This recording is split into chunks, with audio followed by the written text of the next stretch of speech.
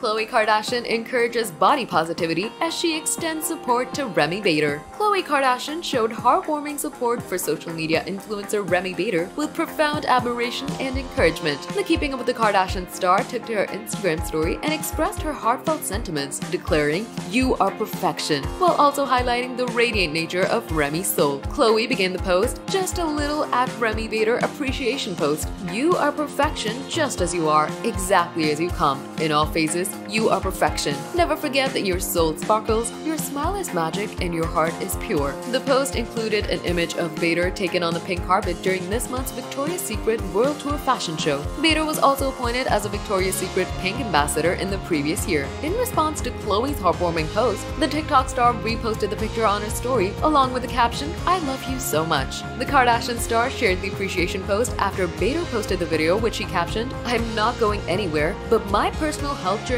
will no longer be shared with you all. Thanks for understanding. In the video, Bader discussed the negative comments she had encountered on the internet and she made a plea for individuals to refrain from making comments about her appearance. The 28-year-old expressed, I try to not look at the really mean things online the best that I can because it really saves my mental health by not looking at it. But there's been a ridiculous amount lately of body shaming and saying things that I already know. Like I don't need to hear it again. So saying things like how much bigger I got or how much weight I've gained and how unhealthy I look or whatever it is will now be my business. What I choose to do, whether that's gain or lose weight, medications I take, supplements I take, my workout routine, whatever it is, I'm not going to share it. Remi Bader posted a tearful video and in conclusion she said, I want to share with the world everything going on in my day to day, but shaming someone for the way they look every day is so disgusting.